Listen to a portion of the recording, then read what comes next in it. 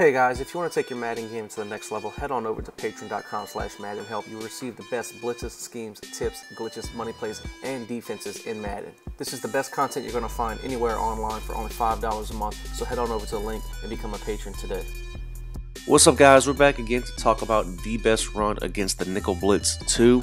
Um, it's out of the single back slot flex. The two plays are the blunt drive. It's usually going to be whatever your halfback's name is, I think, but it's the dive play but the main play is the power. You see against Nickel Blitz 2, we get a pulling guard and everyone gets sealed down, uh, and we're able to get a big gain out of this.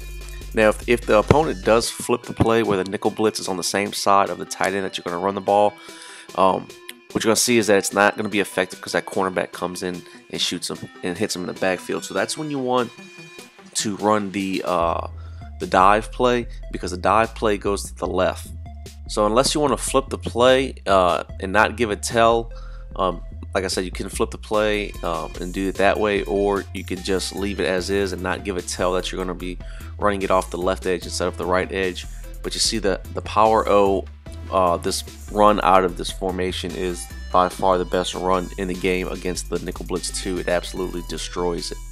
Now, you do not want to ever butt tap and send the power to the left because what can happen is that D line um, where the guy is pulling from, he can sometimes shoot the gap and tackle you in the backfield.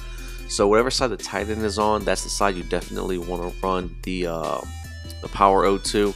And like I said, if they if they do flip it, you're gonna see in uh, the clips that if we do run the dive, it's effective because they only have uh, three on three, and we are able to get great blocking so you see here that they're sending the blitz to the same size as tight end. We just audible to the dive play and we're able to pick up a big chunk of yards.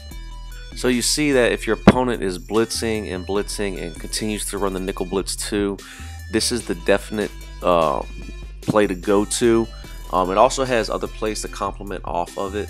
Uh, I will be releasing that later on. I just wanted to give you this because I've been running this against people who've been constantly spamming nickel blitz 2. Um, as you know, it's one of the best plays in the game, if not the best blitz in the game. So once again, this is out of the single back slot flex in the run balance playbook. And the main play is the power O, um, unless they are sending it as the same side as the tight end. Uh, you want to run an audible down to the halfback dive. So I hope you guys enjoyed this video. If you did, please be sure to leave a like, comment, share, and subscribe to the YouTube channel for more great content. And if you'd like to become a patron for all the best schemes, weekly tips, and the best content in Madden, head on over to the link and become a patron today.